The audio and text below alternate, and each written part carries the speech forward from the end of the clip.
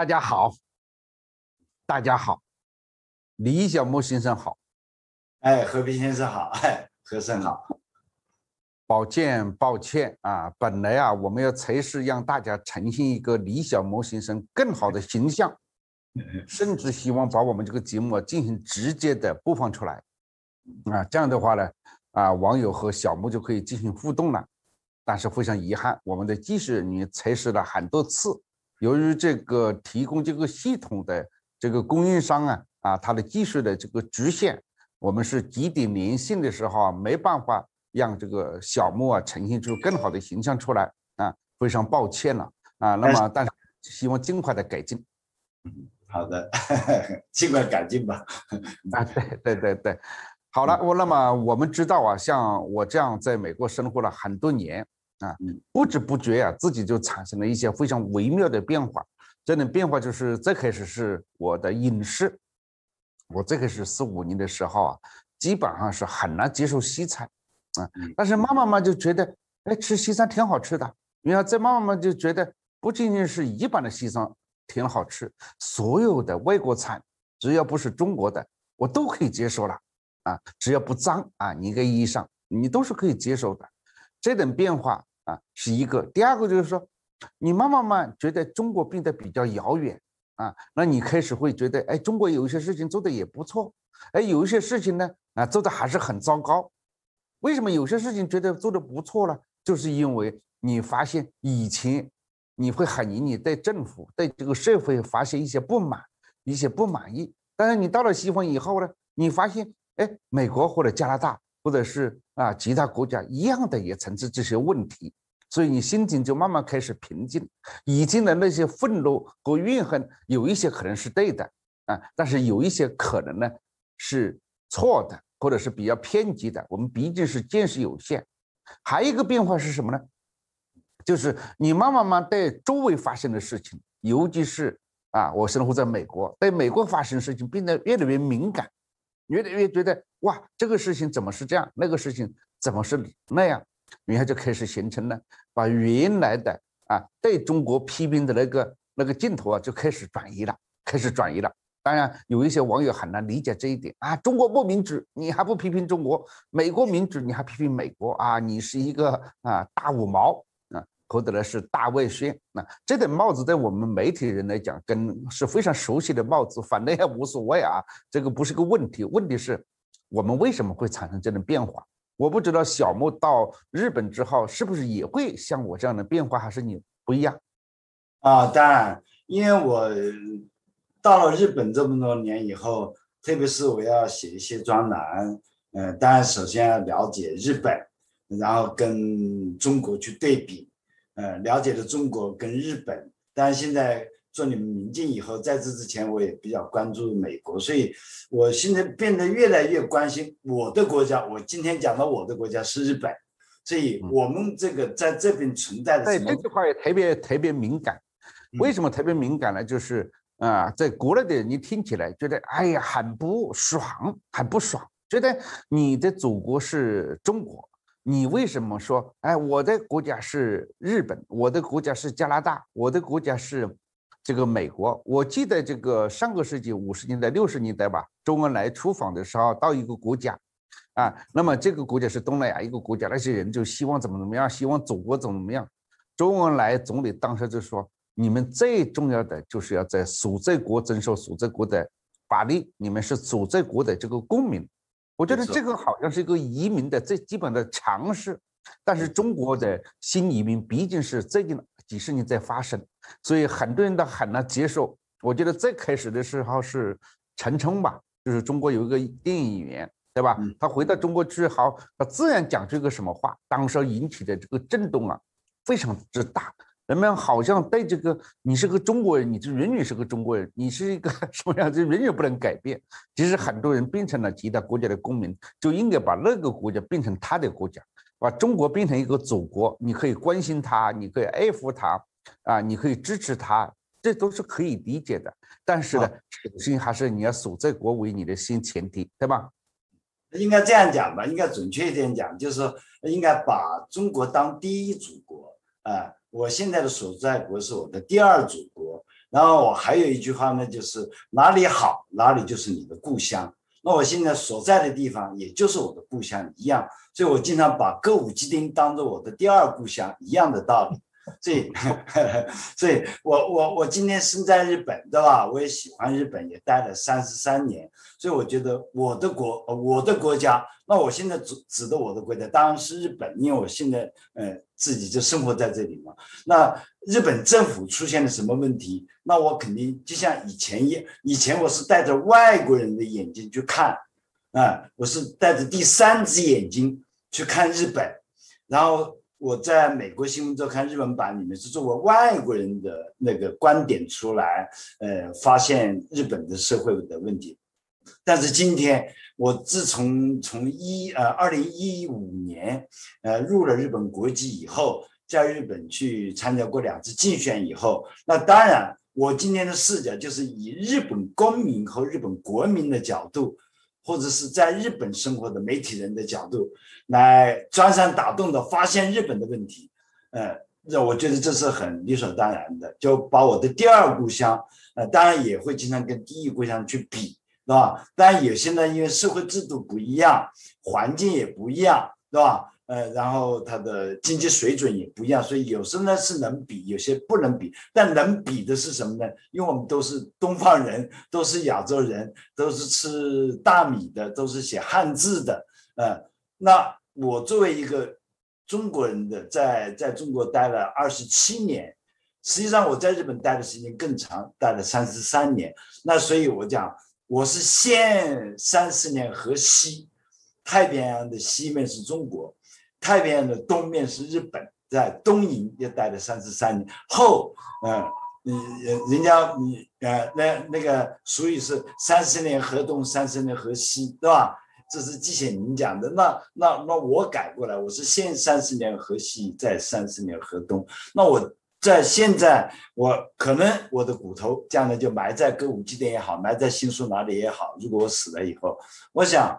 这也就是我的故乡一样。那这里发现的问题，我觉得我应该比在第一祖国的人发现的更早，因为我就生活在这里嘛。所以政府的，比方说要加高我们的税金啊，对于我们的保险，还有对我们的生活福利等等，特别是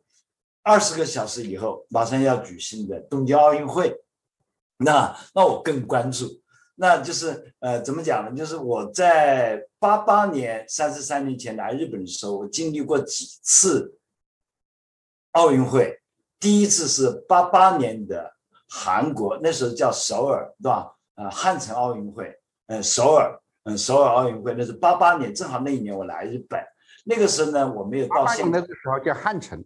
那汉城对，还不叫首尔，叫汉城，汉城奥运会。那个时候呢，但我只尝到了一点是什么呢？是我的同班同学，日语学校的同班同学拿了巴巴的烟来给我抽，他这是我们奥林匹克的烟啊，那我就尝到了第一次，呃，我人生中第一次已经那么亲近的，呃，尝到了奥运会的滋呃滋味，那就是烟的滋味，巴巴的烟，当时韩国人呃韩国造的一个烟。那后来呢，又经历过呃零八年呃呃九八年的长野冬季奥运会，那是第一次在日本经历奥运会啊，我还有他的那个那个他们队员的那个衣服，还是高价买来的，当时加胖后面是个加胖一个冬装的衣服，蓝颜色的外套。那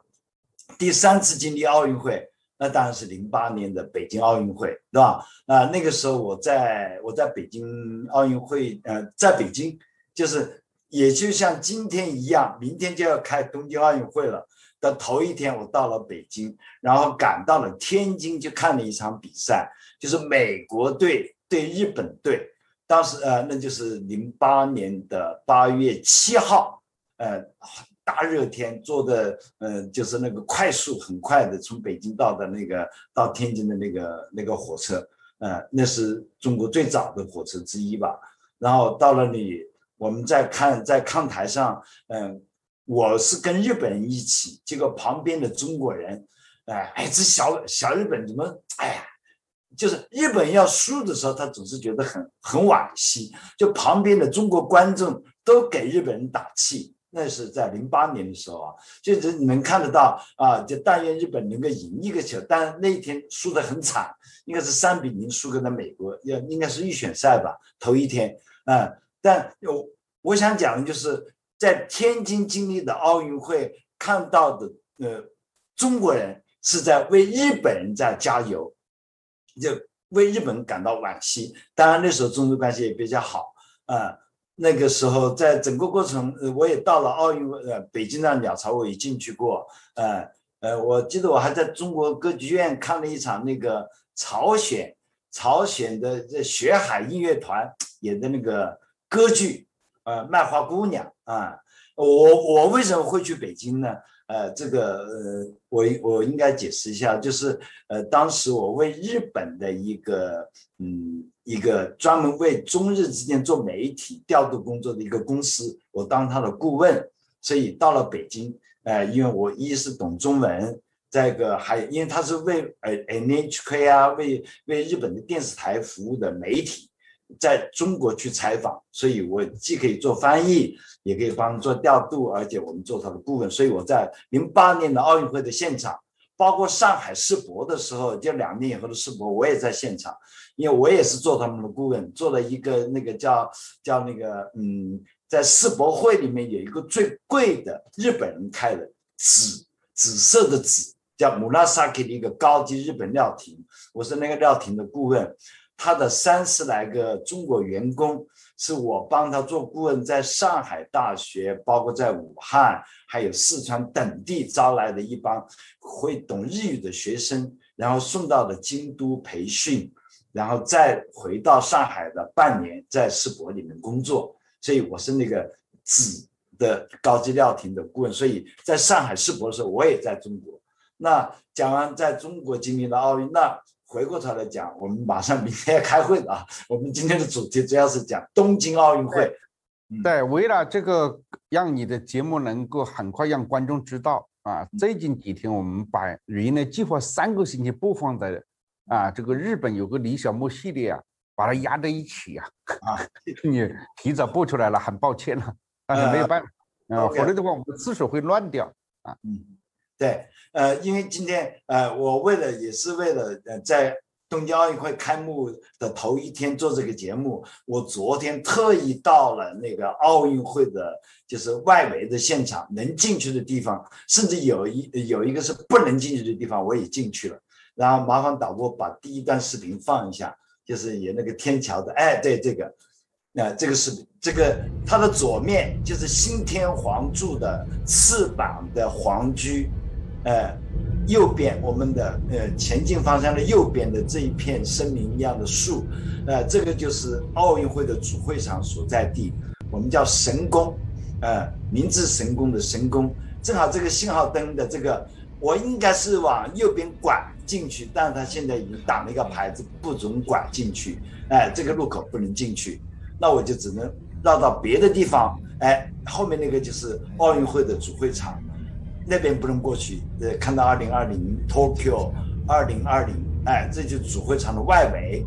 哎，这里面是进不去。那我要去找一条小路，但我这是在我们新宿区，所以我很熟悉。哎，我又绕到了主会场的，就是工作人员的入口处，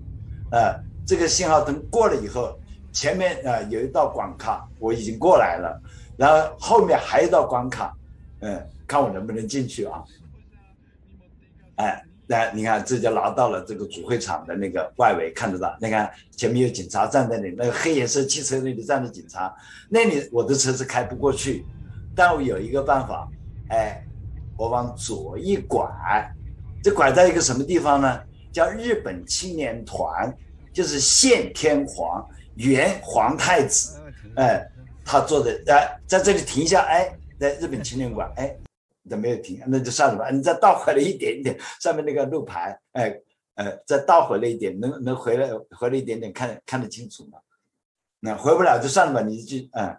哎哎，对对，哎，就这个上面有个日本青年馆，看到吗？啊，这个日本青年馆呢，就实际上是日本青年团是呃原皇太子现天皇啊。我讲讲补充讲一下这个天皇，呃，我跟他是同一年出生的。我们都是六零年出生，但他比我大半岁，他是二月份的生日吧？应该是，对我是八月份，呃，我们是同一年。然后他结婚的那一年呢，呃，也是我跟呃日本的九美子结婚的同一年，哎，啊，OK，这是巧合啊，我不是想去，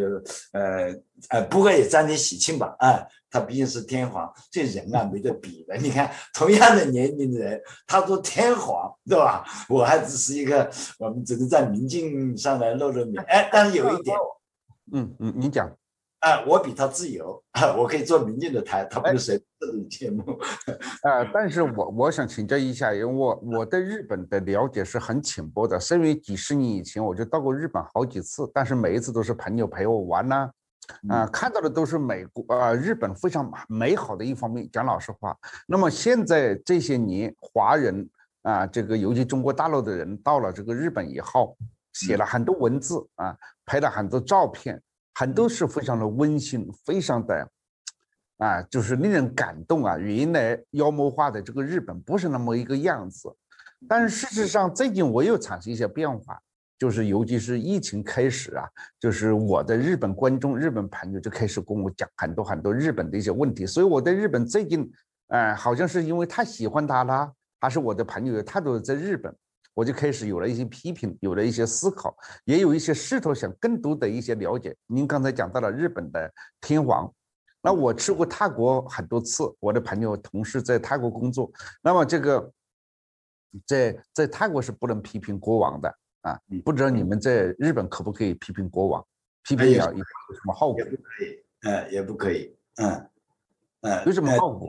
啊，就是作为媒体，作为政治人物，呃，坐在公众的场合，基本上对天皇是没有太多的评价，啊，呃，就是不会，呃，也不能在媒体上公开去批评啊，或者指责什么东西，基本上没有，啊，嗯，只是在你是个自觉行为是吗？呃，应该是自觉行为，就还因为它毕竟是一种象征意义的，就是像神一样的，是一种象征意义。正因为当年的美国人知道这一点，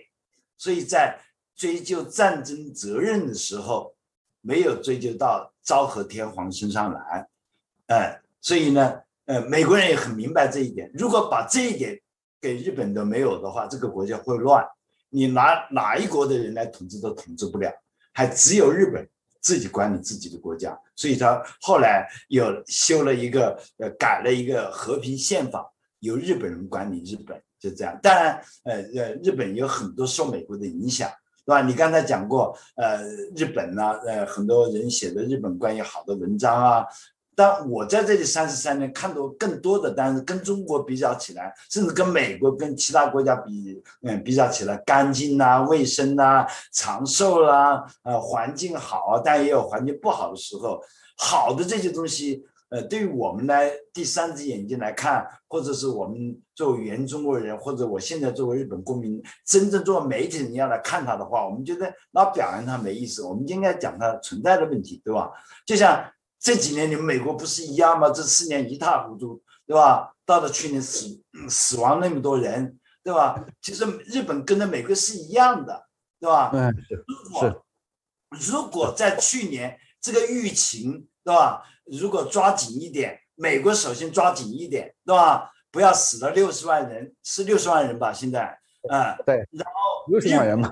啊，日本早一点，我没注意到，对，对，日本早一点戒严。到今天为止，日本没戒过严。呃，早两天有有有有网友在推特上，呃，跟我指正，我觉得指正的很对。因为我在上次节目里面讲过，我们戒严，其实日本从来没有戒过严，那不叫戒严，只能叫是自述，叫呃叫紧急事态宣言。它的汉字几个字，紧急事态宣言，那是一个什么意思呢？呃。叫你自述期间，那自己自述，就是你自己呃严肃一点，呃在家里不要出来，哎规矩一点，呃是让你保持自呃自觉的东西，没有一个说哪里挡了什么线，或者你上了街就罚款，或者你干了什么事情就没有那样行，没它不是一种真正的行政命令，也没有也不不需要负法律责任，对吧？所以这个有有有一点像美国的这种紧急状况。对吧？我们发布一个紧急状要大家注意，跟你一个意义上这个建议啊不一样。像我纽约这个地方，我们经常也天灾人祸嘛，啊，那么主要是天灾啊，人祸少一点啊。但是呢，他发布这个紧急状况的时候，最开始我吓一跳，哇，发布紧急状况紧急后来发现就是要你自己小心一点。对，就是你自己住宿在家里，不要出来，是吧？还有就是不要四个人以上的聚会啊。最近呢，呃，东京奥运会期间，是吧？呃，十天前又开始，就是白天饮食店不能卖酒，啊啊。东京又开始宣布，东京在奥运会期间白天也不能卖酒，所以这两天越来越感染的人数越来越高，一直到今天，我现在跟你做节目的一个小时以前得到。呃，最准确的就是，呃，比昨天更高。昨天是一千八，今天是一九七九，呃，一千九百七十九个人。那越来越高，越到明天开，越到要开奥运会的东京都感染的人，呃，感染的这个呃人数更高。还有就东京都不能呃卖酒，现在东京都的人，东京的人跑到神奈川，神奈川就是横滨所在的地方，叫神奈川，还有埼玉。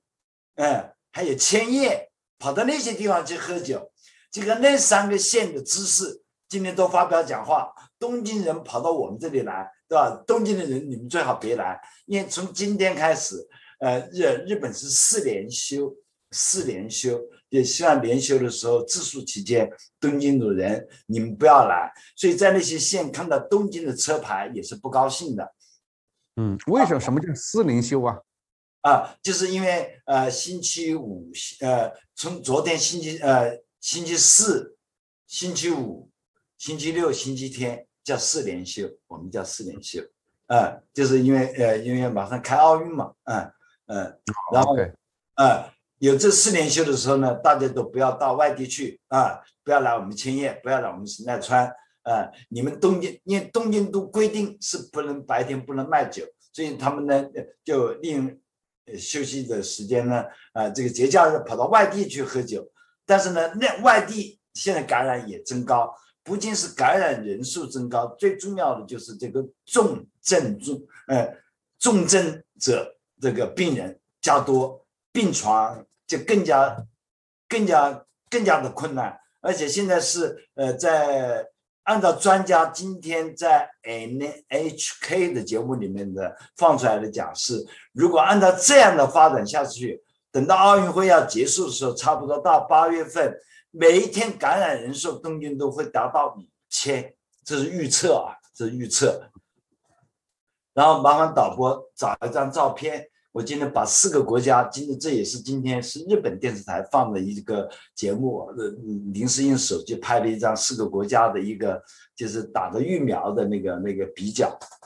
哎，对，就这一张，呃，旁边的那个中文是我翻译的，我临时用那个手机，以色列，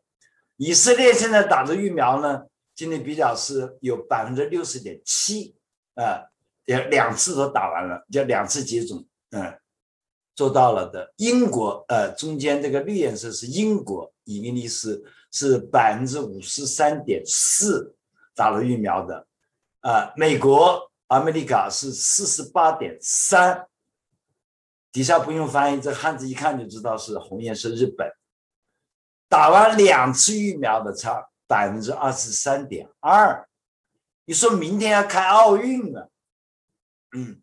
我还在讲回这个道理。那就是当时我们的简易为首相到美国跟发展跟辉瑞的老板打电话，呃，打晚了。这个电话今天日本的几个电视台还在讲这件事情，啊，就是刚才的这个日本电视台也在讲这个事。简易伟应该是没去美国之前就应该跟发展跟辉瑞的老板打电话，当然这是邀请了邀请了辉瑞的老板来，他们还要进行商谈，就是还要加多辉瑞的这个这个。呃嗯，辉瑞还有包括那个，还有另外一个美国还有一个公司的呃老板邀请来参加奥运会啊。我讲到参加奥运会的人，你美国的那个总统夫人已经上了飞机了啊，大概现在正在第一夫人，哎哎，第一夫人对，拜登的夫人已经在已经在已经在天空上了，好像还没落地吧？我刚才没打没没开电视，然后那个美国代表团是两个人。一个是拜登夫人，还有一个是驻美国驻日本大使两个人。中国的原来定的是呃要副首相级、副总理级的，到今天我给日本的一个不是 NHK 啊，一个大媒体的专门管嗯外信的一个头目，是我多年的朋友。当年我在北京奥运的时候，我就跟他在一起。他当时派驻北京做做记者，他做过北京，呃，最后当了副呃副总局长吧，对，当过香港总局的局长，但香港也就一个人，嗯，我跟他很好的朋友，今天我打电话问他，我说中国的来了吗？他还现在不知道，嗯，现在还有二十多个小时，估计明天吧。原来计划是孙春兰来是吧？啊，原来是副总理级啊的人来，但是孙春兰是副总理，他负责这个。体育嘛，嗯，但他能不能来？估计因为拜登夫人来了嘛，估计他应该来的来的可能性比较高。但现在还没有下飞机，还没到日本，嗯，因为北京飞过来也就三个小时嘛，啊。另外呢，台湾还有本来邀请了台湾，但台湾跟日本没有外交关系，对吧？呃呃，然后呃，不可能邀请。就是台湾，呃，台湾的领导人来不可能，但是呢，他们的大臣级的人物邀请了一个，一个叫唐凤的人，你知道吗？唐凤是我的朋友的小孩，哦，呃，是一个超级天才，啊，从来没有读过大学，没有读过中学，没有读过小学，对，对，就本来一位很好的朋友的小孩，啊，真是为他感觉到高兴，为什么呢？因为台湾发生什么事情都要找唐凤，对啊，太 奇怪了。他呢，本来是你看啊，呃，因为日本人也对他，他现在比比比这个呃蔡英文的知名度在日本还高，因为他几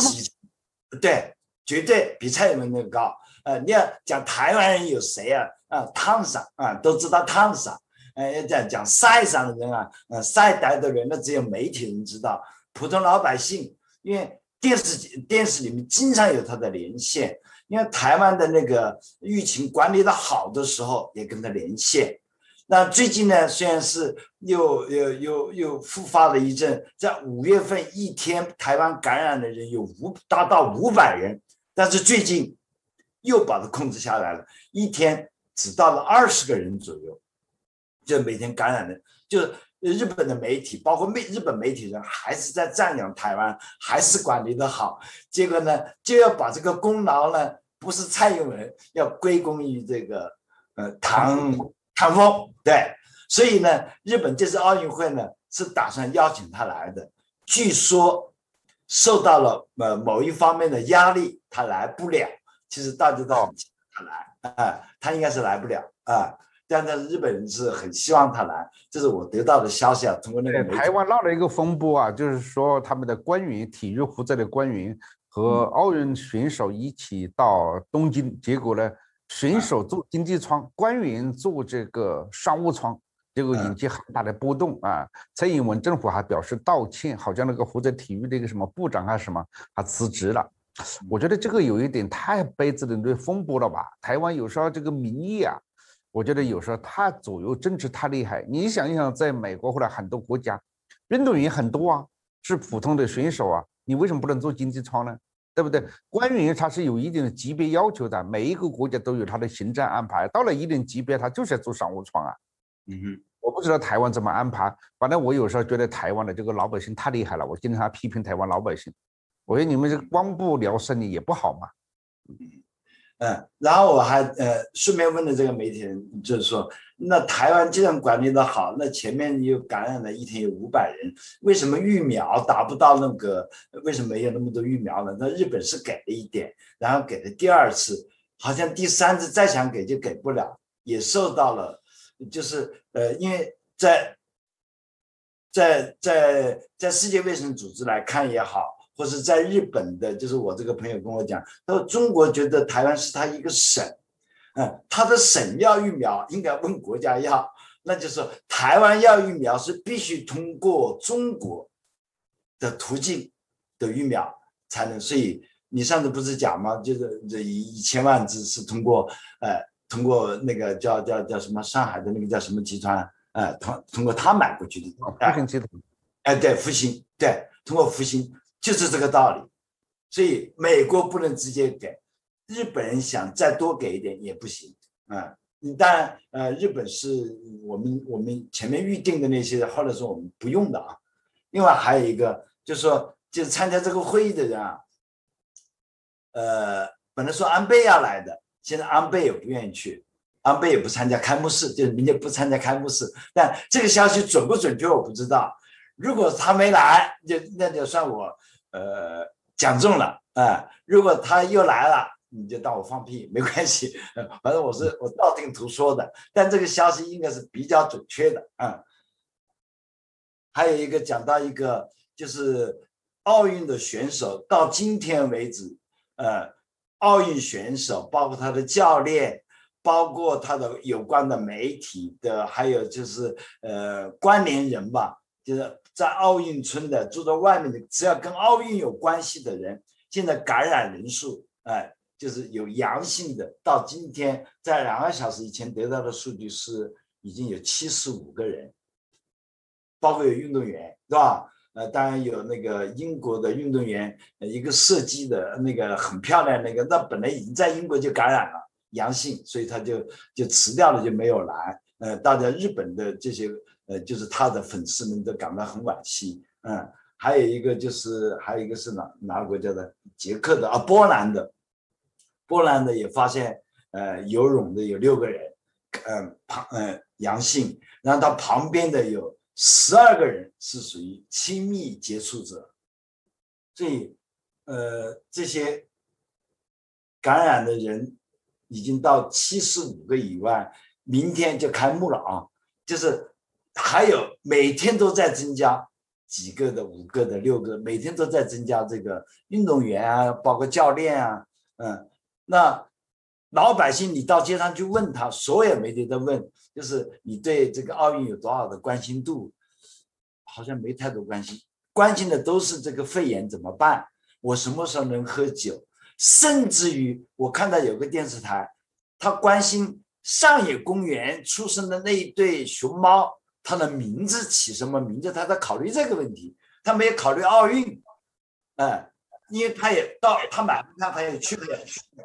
哎，他不关心奥运，他关心上野公园的那个熊猫是从中国借来的，日本特别喜欢熊猫，哎，最近在一个月以前生了一对生，好像两个都是呃一男一女还是两个是女的，我忘了啊，呃雌性的，哎。现在为这个熊猫起名字，哎，老百姓哎，他有这个兴趣，反而对他的奥运没有兴趣。所以我刚才放的那个，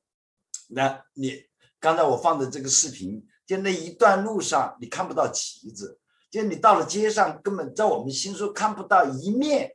呃，就是新宿在靠近歌舞伎町这一边啊啊，你看在两边路上看不到那个挂着奥运的旗子，在在皇居的旁边，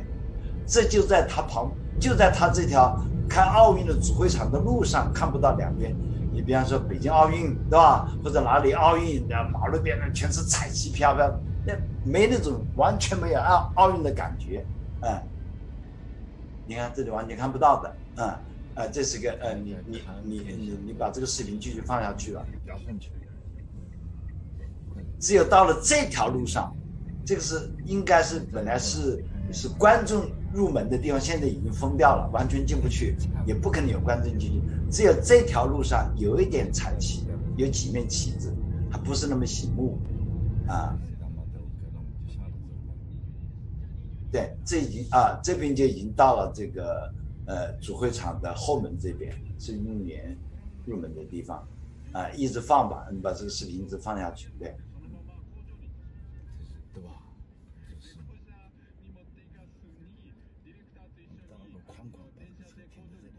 好，我要开始往左边拐。呃，这主会场对，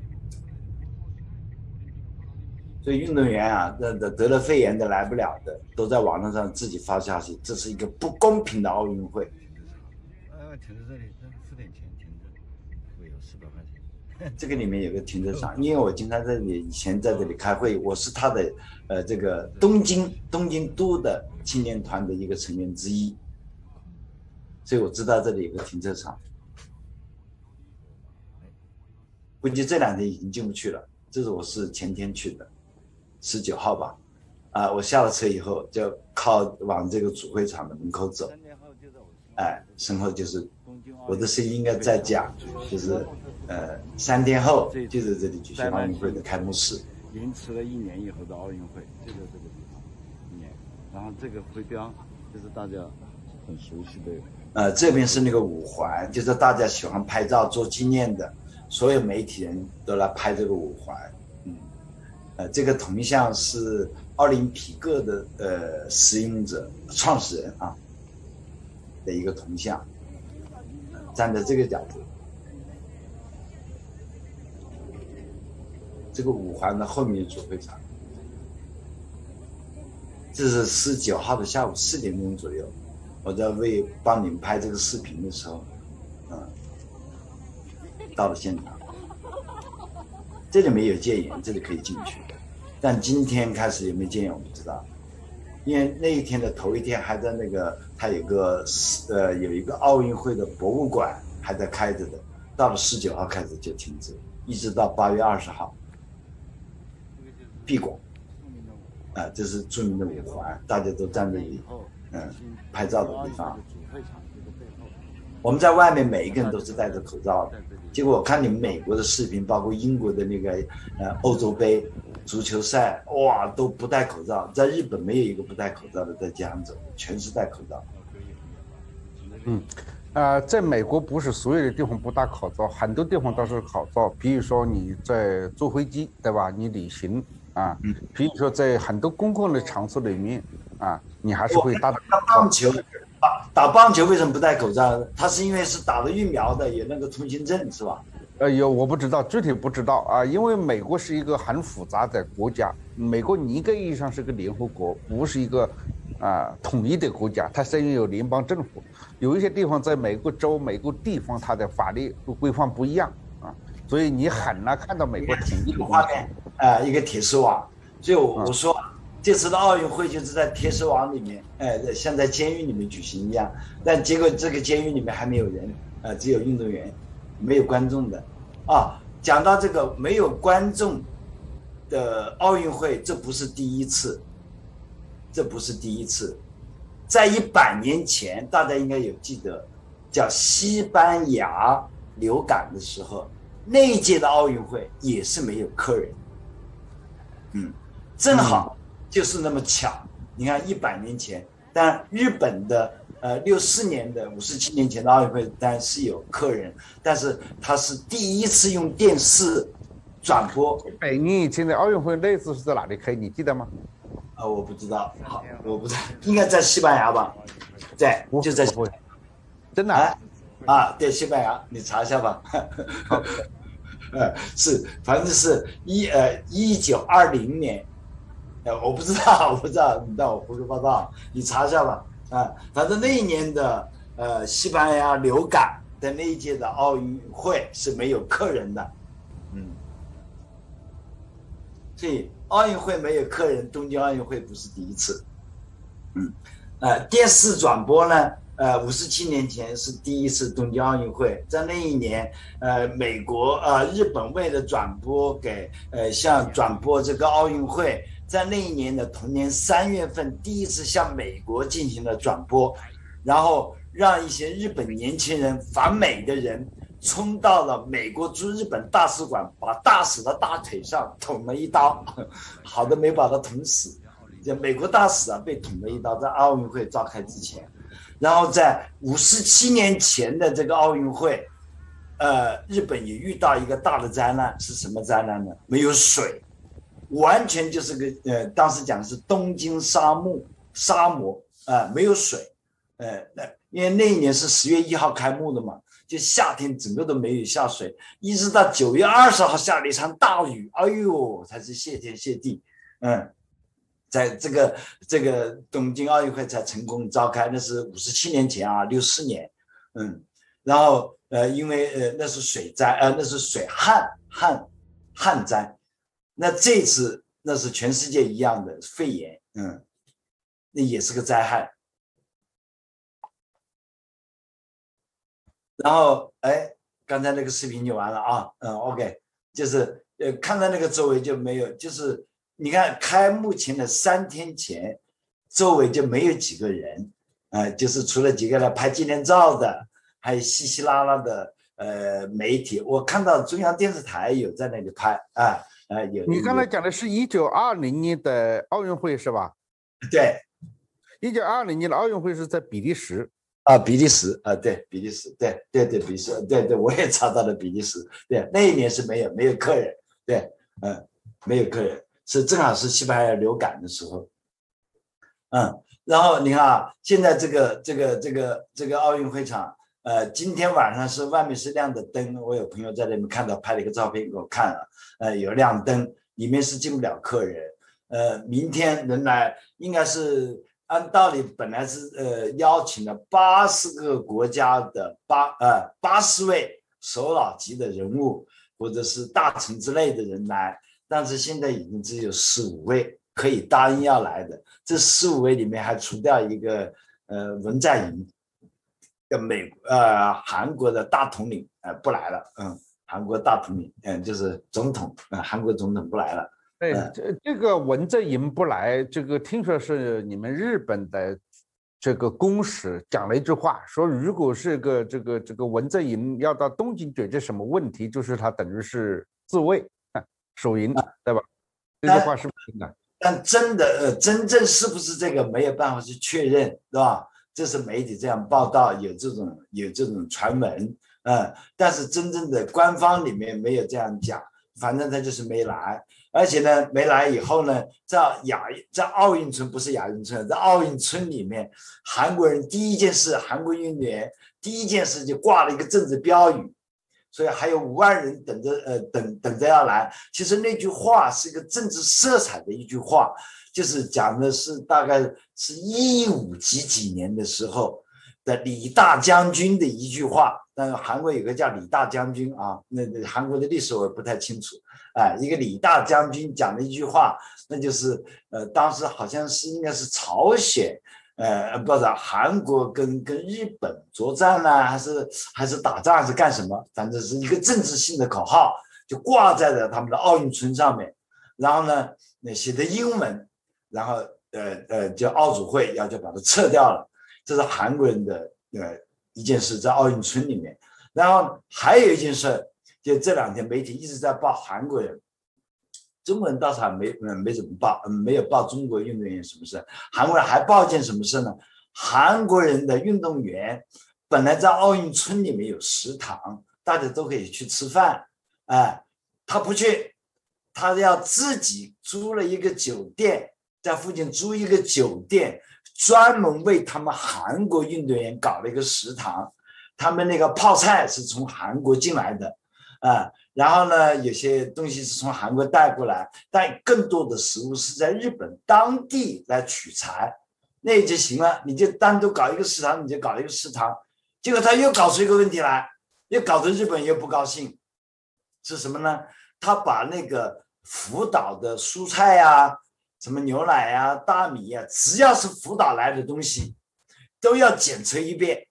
他们是用的那个小机器检测，我看到那个电视摆出来那个小机器，那种机器我也我也有过，那也检测不了，那也不精密，对吧？真正是像像个雷达一样的，就像一个大，就现在滚筒式的洗衣机啊，有那么大。我到福岛的现场农业所去看过，啊，他们有六，当时在呃，那就是在呃，在五年前吧，有六台，很贵很贵的，是美国人造的。我说你们日本人造不出来啊，日本造不出来。他说日本有，要用美国的才觉得是更加有国际信任度。他们用的美国高价的比日立的，日本日立也有这样的检测仪器啊，而且价钱没那么贵，这性能也是一样。但为什么在那里展现给媒体要看美国的呢？他要给给大家有个国际信任度。你看，这是福岛的一个农业研究所里面用的设备，是用的美国设备在检测。他一天要检测检测一万多个品种，有大米呀、水呀、鱼啊，嗯，就是就是各种的东西。它所有的农作物、水产物只要人吃的、要用的，它都要检测。这已经经过精密的检测过的以后才能上市的，这点我们在日本待了那么多年，我们是知道的。所以韩国现在还禁，还韩国本呃还在禁，就是包括东京呃不有九个县的农作物是不能进韩国的。好，所以到了日本来以后，一看到食物的标志上面有是福岛产的，比方说苹果也好，或者是或者是是蔬菜也好，大米也好。哦，他们就不行，然后韩国媒体还大肆报道，然后又让日本的千叶县的知事，呃呃啊不，呃这呃福岛福岛的知事，福岛的知事今天发表谈话，他说这样这样的话，如果在国际媒体再炒作这种事情，又给来带来一种就是风向标啊，福岛的是核辐射的东西不能吃，日本人为了平息这个风波，我们叫风评。为了凭借这个，花了已经花了十年的功夫，是吧？日本国内以前也这种谣言很多，就日本做了很多的努力，政府也做了很多努力，连台湾都让都让福岛的大米可以到日本的大米可以到台湾去出口的，嗯，呃，中国应该是不行吧？中国的大米本来就进不去，就是呃，韩国的媒体这样报道，包括他的运动员做了这两件事情。呃，给日本的就是国民的感，就是嗯，就是对呃韩国人的好感度啊又降低。大他本身他的大大统领不来，对吧？那也就算了。本来想好多年，文在寅好像当了当了总统以后都没来过日本，呃，他们都没有好好的进行个交往，所以呃，日韩之间的摩摩擦也是相当的严重。关于慰安妇的问题，对吧？然后在。本来想利用这次奥运会能够见个面，这个又没来成，没来成不要紧。奥运会的又是挂横幅、政治标语，啊，撤了，然后又来一个食堂的问题，嗯，所以最近的媒体这两天对韩国的国际呃呃报道是比较多，还有对乌干达还有两个运动员，早两天 觉得你们这个挺好，他跑掉了，跑掉了，跑掉了以后呢，哎。结果呢？呃，昨天已经抓到了，今天好像已经把他送上飞机了，让他回乌干达。呃，哎呦，他了！啊，把他遣送回去。那当时他本人呢是邀请要政治避难，嗯，结果呢没有没有给，没有同意。不像上次那个是泰国，不是泰国，是哪个国家？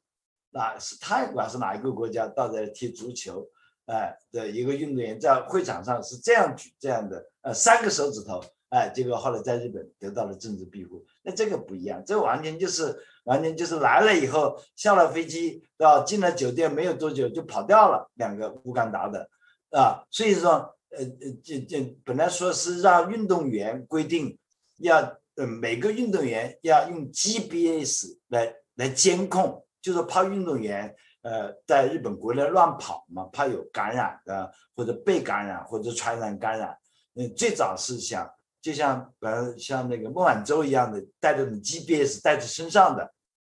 后来后来就不给，后来就说还是不要这样，我可能国际舆论会觉得是违反人权，那就用手机吧。现在这最后定了就用手机来定位，结果现在是你用手机，他把手机扔在酒店，扔在房间里，他不带，他不照样跑出去了，对不对？这没有用，这管不住啊，所以往外面跑的还有。还有一个一个非洲的一个国家啊，我忘了那个名字，那国家的名字。还有一个呃运动员就性侵犯、性侵那个就是呃在在日本做那个做做公益活动的，哎，博朗迪亚的，哎，性侵，呃，性侵日本女性。日本女孩子，你跟她讲话，日本女孩子本来就很热情，日本人都很热情，然后日本女孩子笑得很灿烂。她本来做义工的，对不对？那你哪个外国人跟你讲，他都是很热情的呀，对不对？嗯，他光天化日之下，不能因为他热情就觉得日本女孩子叫容易上当，他这样的进行啊，还说是人家愿意的，根本就不是这么回事。这这是媒体爆出来的，就是现在就运动员来了以后，到每天在来，嗯，现在都已经来了，有的有的是来了十天的，有的来了一个月的，有的在别的县。呃，每个县都在接待嘛，呃，在搞一个集中营、训练营，是吧？比方说在在长野的有，在其余的有，这些慢慢慢慢，哎，在外面的有被感染的，这总共加起来有七十五个人被感染。美国队，美国的女子体操队，哎，他就干脆不住奥运村，他自己住一个酒店，但他里面也有一个阳性的感染者，美国女子体操队。好，我讲的这些，你有什么？呃，你嗯，马我的意思是说，我在想这个事情呢。你说这个这个东京奥运会，就算是现在顺利开成了啊，那么它是不是整个投资还是不是亏损很大，没有达到别人的这个原来预期的大家预期的这么一个目标啊？那当然了，不亏大了。门票门票没卖出去一张，本本来本来有几百个亿的门票收入，对吧？门票收入是一个方面，所以今天的节目里面，呃，这些评论专家都说，到底是就以给他们一个慈善、一个很有名的一个一个一个一个一个加拉利斯的一个媒体人，他以前是 NHK 的一个呃一个讲新闻的，后来离开了 NHK，到了民放，我们民放就是民营电视台，他今天讲了一句话，到底是政治家要名誉，开这个奥运会是政治家为了要名誉。还是为了要我干嘞，还是要钱，对不对？当然，他的转播权，对吧？国际奥委会，对吧？他要给一笔钱的，然后，嗯，就是转播权，现在只能转播看电视，这个是收入的呀，是吧？东京都投了那么多，盖了会场，国家也投了那么多钱，对吧？盖了会场，那呃重新盖这个体育广场，那广场最早就是对吧？因为这个。呃，找了一个伊朗人，是吧？当然，网络上有讲，对我上次节目讲这个伊朗人，是因为一呃，是因为是少数族裔，还因为是外国的女性的设计师，所以日本就以这个价格高把它回绝了。这个倒是日本媒体是没有，我查过，我也问过，呃，这个还不真不是一个主要的理由，没没有作为一个理由，是真是因为它当时的价格太高。你想它的造价是，呃，我那天给是多少？两百五十亿，嗯，光造这个两百五十亿，呃，然后现在改的这个新方案只有一百五十亿，哎，三百亿吧，三百五十亿，那个是三百五十亿，这个才一百五十亿，嗯，新造的，而且还包过了，因为它是木头的结构，呃，没有封顶，呃，是木头的结构，所以当然是便宜，嗯。然后再重新由日本的呃那个魏延武来造的，然后这个今天呃今天的这个奥运组委会又解任一个，就就辞掉一个，呃，叫开除吧，开除了他们的这个明天开幕式和闭幕式的那个，我们用中文讲总导演，应该叫总调度，嗯。叫 show 的 director，呃，嗯，他是表演的导演，呃，一个叫小林的小林贤太郎，因为他在很多年以前的一句话，是因为那个呃，关于犹太人屠杀了三百多万、几百万头呃犹太人的一个呃，他拿一个段子去开玩笑似的，然后被美国的一个犹太人人权组织介入的这个问题，今天辞职，你明天开奥运了啊，等于是。张艺谋当了这个总导演，到了明天他要开奥运了，这个导演没有了，就是这是日本，所以接连不断的，但以前的这个我们的我们的奥林匹克的这个奥那以前申喜郎对吧？因为对女性的蔑视，呃，说女的理事讲话太啰嗦，因为这句话被媒体揭露出来以后，公布以后，他辞职，前首相对吧？他是前奥林匹克的嗯会长。就只有呃才有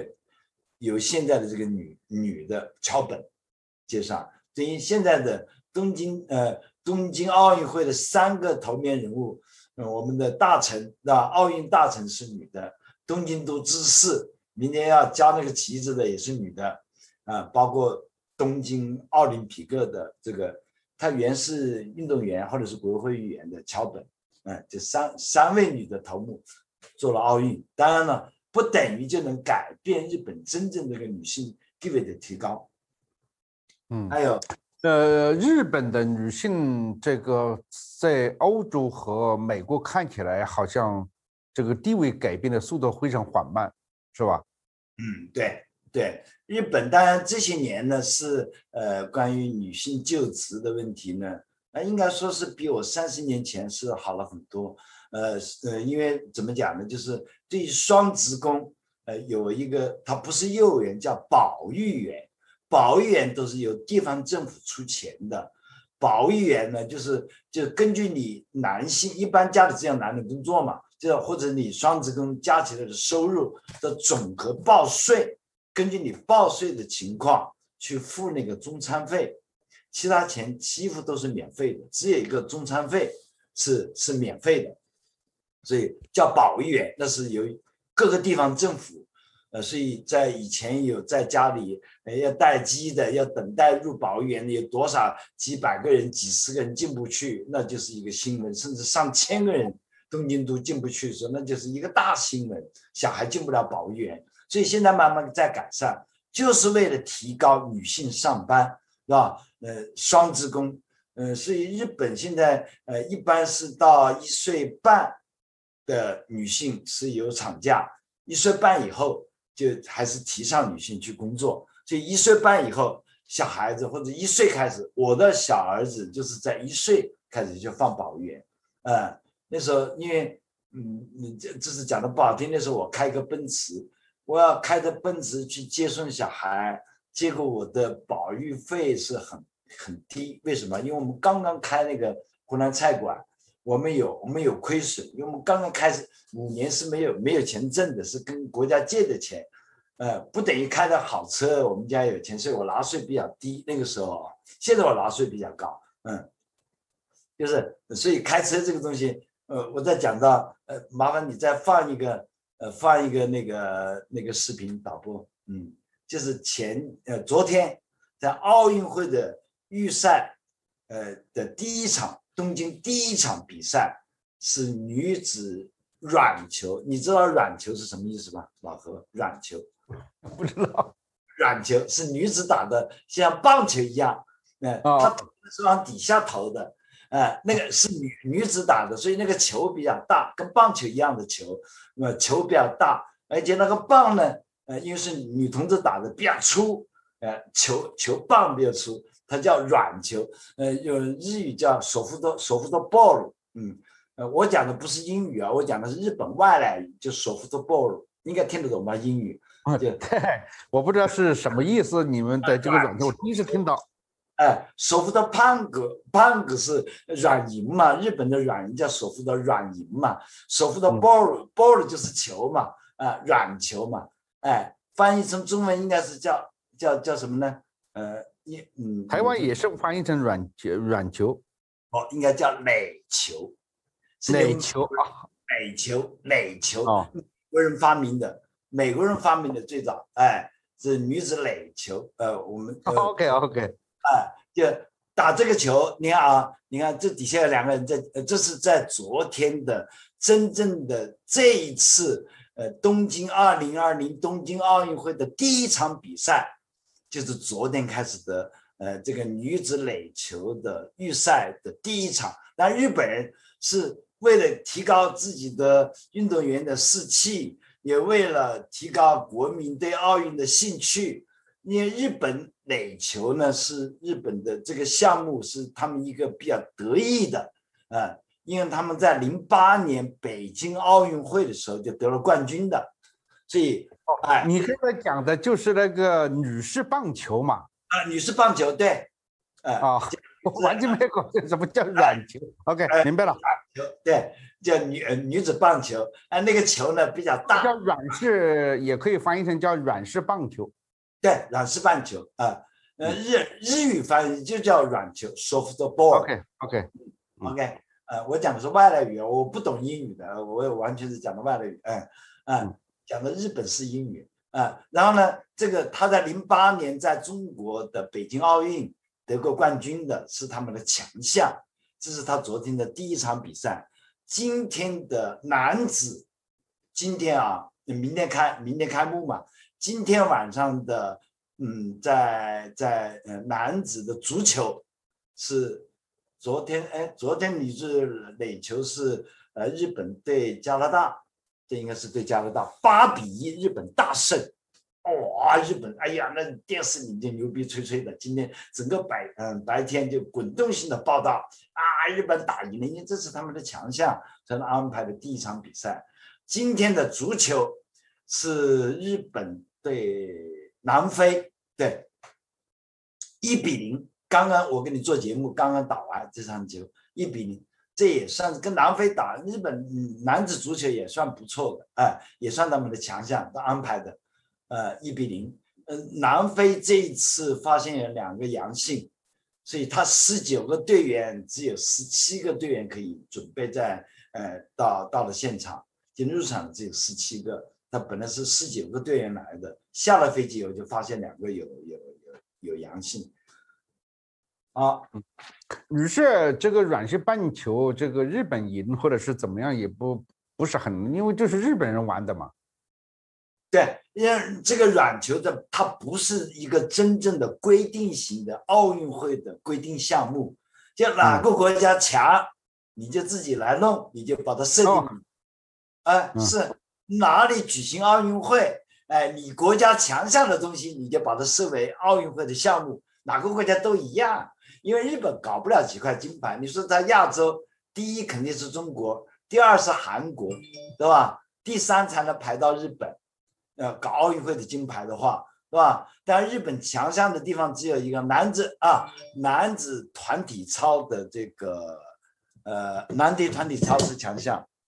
嗯，对，男子。好了好了，就是你们日本的棒球知识了，好吧？软球，日 棒，全世界都叫棒球，女子呃女子软球，呃女同志打的球呃是软的球，棒子比较 多，呃球也比较大，嗯，然后呢，呃我讲那个，呃我讲呃女子，因为我我我去，因为棒球比赛有一个很主要的主赛场是在纽约嘛，啊，那么这个，所以我们有时候还去看过，然后。到这个小孩的学校有很多这种棒球的这个练习场，哎，我就从来没有看过一个叫软性棒球，所以刚刚赶紧一查，发现是你们日本的特产。是的，呃，人家美国人发明的，反正我们俩不是日本人发明的，不是美国发明的。我我查了一下这个历史，是美国人发明的。没没没，这上面写的是日本发明的，日本人发明，日本发明，美国发明太多了。我们俩都是呃运动员外行，我们都是体育外行。OK，我们在查，我们的观众比比我们熟悉啊。没关系，好了去查。OK，呃，然后让我们的网友观众去查，嗯，然后我再讲讲那个，那个那个，哎，我今天跟你做了一点准备，被你扯走不得啊。现在运动员因为发现了，啊，呃呃，讲到那个刚才讲的那个北岛。呃，就是呃，刚才前面有个视频，就是软球的那个视频底下两个解说的，哎，这个对，这个呃，这两个，这一个呢，左边这个主持人呢，左边这个人主持人呢叫樱井，樱井祥是日本非常有名的一个南，就是京都有个叫南山，山字旁山底下一个峰，南山的南。一个组合，一个男子组合很有名的的其中一个主要演的其中的一个演员，呃，叫樱井。这个男孩子，呃，举行过呃红白歌星的主持。这一次的奥运会明天的开幕式，他就作为主持人之一，樱井。啊，呃，然后他中间这个主持人，这是呃昨天给那个女子软球做主持的啊，做解说的。中间这个男的叫。北岛什么界来着？我看看，我对运动不太熟悉，叫北岛康介，对，康健，嗯，对，北岛康健，他在零八年的时候在北京奥运会的时候得过两块金牌，那游泳游泳的运动员，很有名的。他今年已经三十九岁、三十八岁了吧？他已经退役了，现在基本上就是在呃做主持啊，因为他长得形象不错。哎，我讲的这个游泳运动员，我再讲另外一个日本的，我我蛮关注的一个裸体王子。哎，这个这个对，这个裸体王子，这在日本非常有名的一个裸体王子，他的名字叫叫濑户濑户大桥，那那濑户大桥的濑户，三点水那个濑户，大他叫他叫大野大野野这也也是这样的野大野大小的大濑户啊，这小子啊，在日本的一个美誉叫裸体，叫叫的哈嘎达罗奥吉，嗯，他是裸体王子。但运动员对吧？游呃，这个游泳运动员都是穿三角裤对吧？都都穿短裤，不是三角裤啊，就是上身都是裸的嘛。那为什么讲他是裸体王子呢？因为他在去年啊，二零二零二零年的时候，他结了婚，他的老婆是一个很漂亮的跳水运动员，已退役了，生了两个小孩，有两个女儿。他去年啊，他跟呃全日空的一个女孩子搞不伦。被周刊新潮拍到了，他是内定了奥运会的选手，呃，因为他这十年间，他今年才二十七岁，他十七岁出道，十年间在为日本在国际上得了好多个好多个那个呃那个世界冠军，呃游泳的，嗯，他是那个蛙，呃呃呃，他不是蛙泳，他叫什么运来的？蝶泳，蝶泳很厉害，他肌肉也很漂亮，是吧？你看，你看他肌肉。嗯，然后呢，他你搞了一件不伦，是跟全日空的女孩子空姐，跟一个很漂亮的空姐，那个空姐的哥哥是那个嗯杰姆斯的嗯假妮子嗯一个组合的一个有名的一个男演员的妹妹，他们俩，他开着个高级豪华的外国车，嗯进口车，开着车去接了那个女孩子。进的不是个高级五星酒店，进的而是一个很普通的、很普通，就是很普通一个酒店。嗯，人家干的那个事儿出来了，被周刊新潮就拍到了，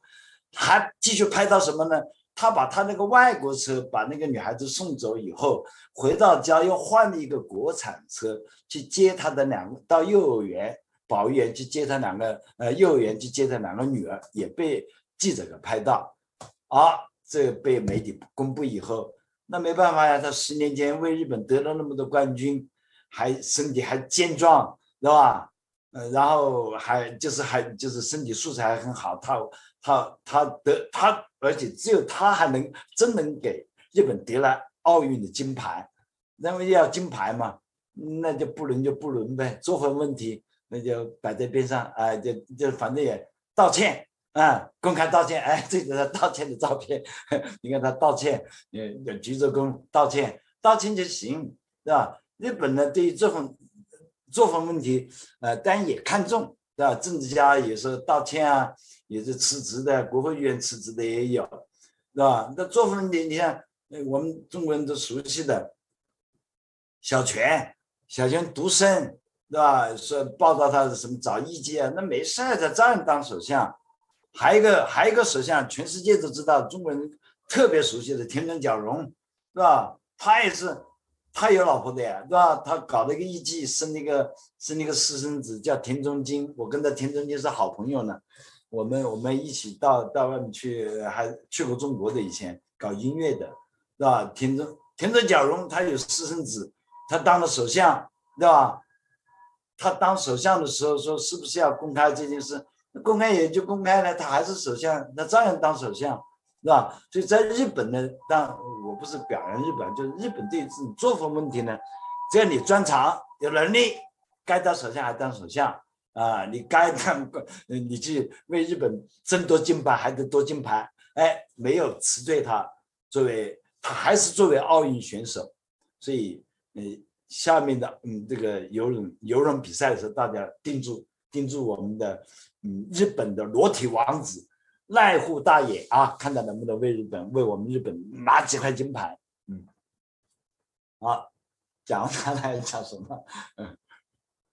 现在我们已经讲了一个多小时了，这个呃，我我还有一点说话，就是这个奥运会如果谁是呃出现比较大的问题，有可能。中间停掉这种可能性存在吗？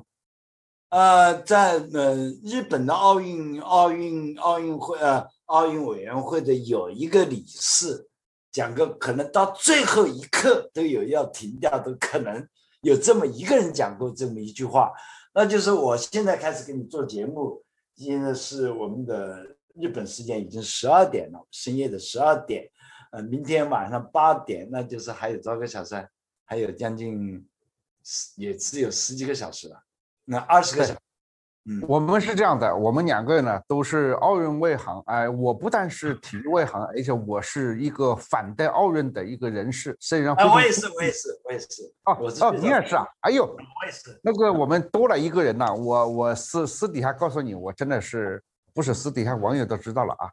就是说我基本上实真了解奥运以来，我就认为这是一个表现民粹啊，这是一个扭曲人的正常身心的一个场所。啊，民粹都可以利用这个机会大大的啊发一发扬一番啊，不是真正的奥运的精神，他们所提倡的那样，不是那么回事儿。奥运现在的问题太多太多啊，我是建议干脆就不要开了啊，就是，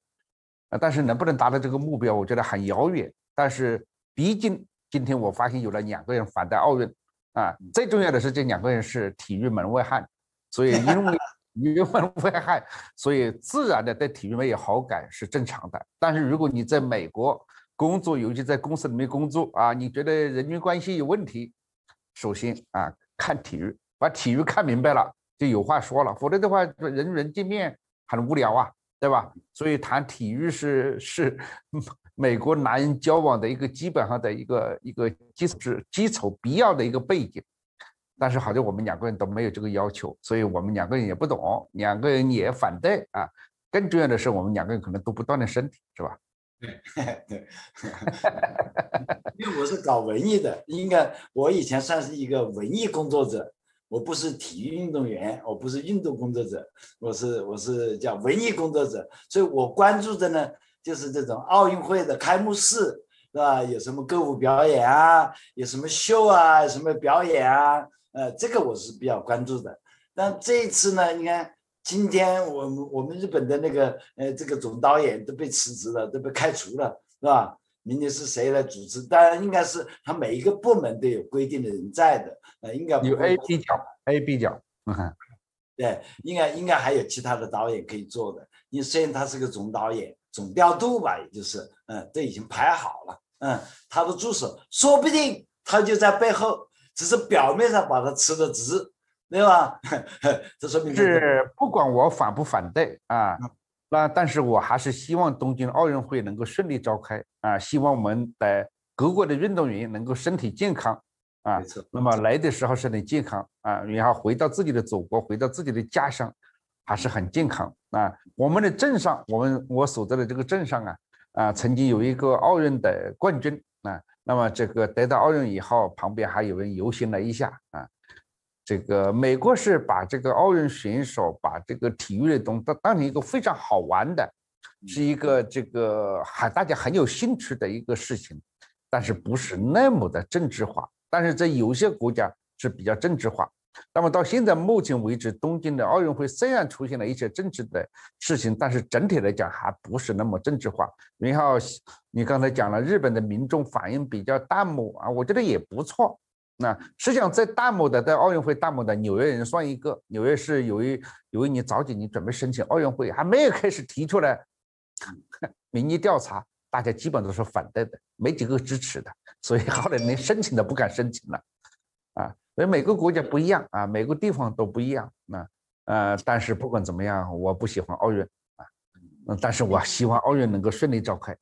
对，今年的这次奥运会啊，你不要看金牌多数，这绝对是一个不公平的，因为本身它延长了一年，是吧？有的人的年龄对已经增大了，他本来在去年可能成绩会发挥的更好，但是这一年都是。每一个国家，哪个国家的运动员都不可能发挥正常的发发挥出很好的水平，因为这一年都是在关紧闭，是吧？都是在关紧闭，而且明天开始的运动会也是一个没有观众的情况之下，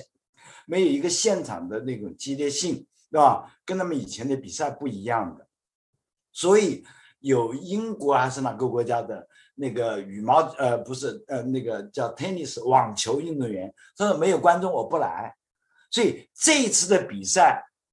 就根本就看不出真正的体育的实际水平或者国家的水平，对吧？所以有些是国家代表，每个国家是代表国家队。你像在日本的体育运动以前，你像很多运动员选手，你看他的成长的历程，他不是国家培养的，都是妈妈培养的，都是家里自己掏钱培养的，这就是日本的体育。所以日本的小孩踢足球也好，他不是什么体校，也不是说呃进到什么到了一定的年龄有国家的集中训练。社会主义国家是这样，但你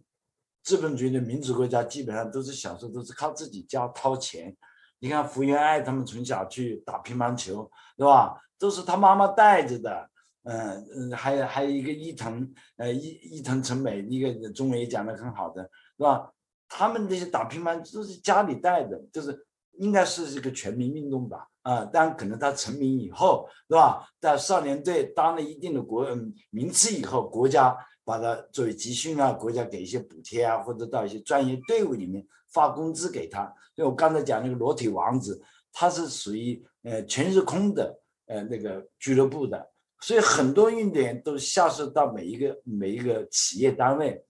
这次还有一个。五十五个广告商，包括包括丰田汽车啊，这个汽车那个汽车电器，五十五个广告商，明天能够，明天到那个奥运开幕式的有三十七个已经辞退不去，啊，不参加不参加开幕式，所以说安倍 也有可能不去啊，这可能是我李小牧第一个讲的啊，如果讲这里就 啊，好的。我们我们前面讲了，就是希望东京奥运会顺利召开。但是，假如假如万一不顺利的话，出了问题的话，我会随时请李小牧先生跟我们这个上网来这个介绍情况，好吗？好的，好的，好的，嗯啊，非常感谢啊，也感谢我们的观众啊，能够包容我们两位这个不但是体育的门外汉，而且是奥运奥奥运的一个反对者，所以呢，就是。鸡蛋里挑骨头啊，挑了奥运会的一大堆问题。如果你要看正面宣传的报道，请看日本的 NHK。开玩笑，你是 NHK 也 NHK 也会有报道不少问题。新闻吧，只要是事实就应该呈现给大家。不，NHK 报的问题没有民放报的多。呃，日本的民民间台每天都是就就跟我们讲话一样的，都是很尖锐，都是没有没什么好事，全是讲一些这这不好那不好，这不好那不好啊。哎，你可以都很少讲那个韩国的事情啊。啊，OK，OK，谢谢，谢谢，谢谢。啊，谢谢小莫啊，谢谢我们的编导，谢谢我们的观众啊。如果不出意外，我们下个星期见；如果出意外，我们随时相见。好，好，好，再见。打开明镜电视，每次都是新世界。节目中言论为个人见解，不代表明镜的观点或立场。YouTube 频道名：明镜火拍，苹果博客名：明镜火拍音频版。网站 triple w minjingnews.com，推特 at minjingnews，脸书 facebook.com